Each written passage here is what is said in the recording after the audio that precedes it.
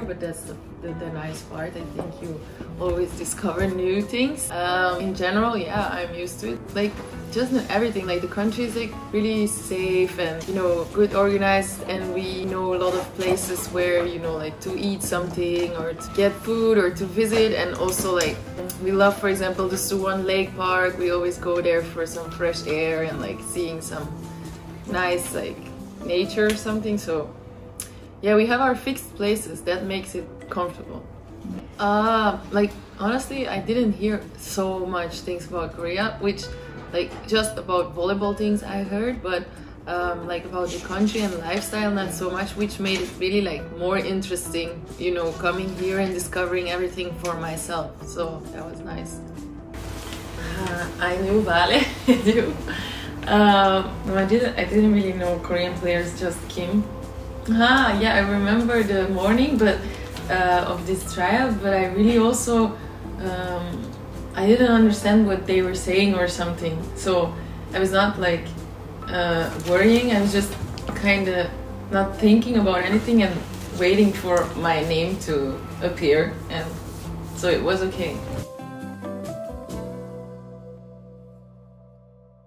Uh, I think in general I like all the girls, you know, and it changes sometimes, you know, like you're a little bit more close with one and then with the other. Obviously, with the language barrier, it's not like that easy, so I would really say that Tati, but I don't know, Dahyun. Uh, yeah, she is, because she speaks really well English and she's a super nice girl and I, I really like her. So I think she's like closest one. And yeah, also Hyojin a little bit speaks English and, and she's a funny funny person so I like also joking with her and like being like she's positive so I like that too.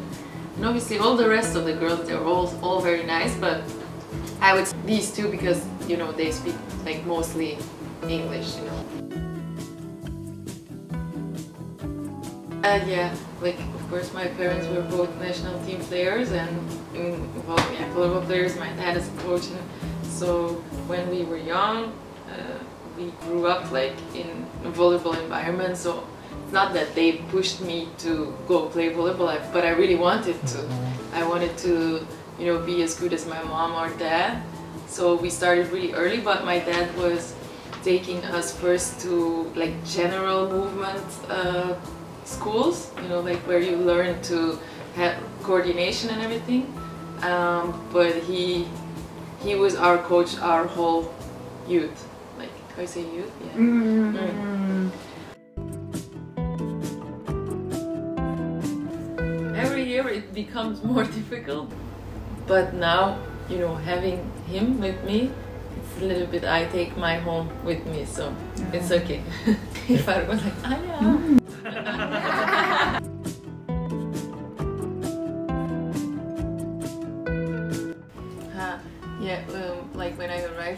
team, I was a little bit later than the others, and Baruch was the one that came to pick me up from the airport um, because he was working in that team.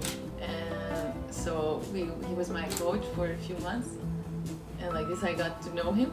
And then during the season, he changed to another team, and so then he was not my coach anymore, and then we started to fall in love and everything. Just, I just saw how he's looking. I am looking back. I feel like I want to be so much around him.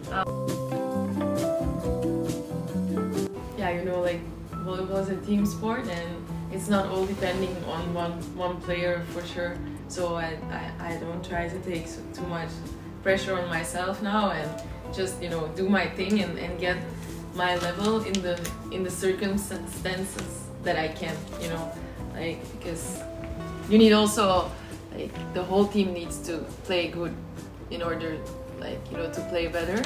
You know, there is 18 more games left, so I feel like positive that me personally, I I can find a way to get my level as high as possible.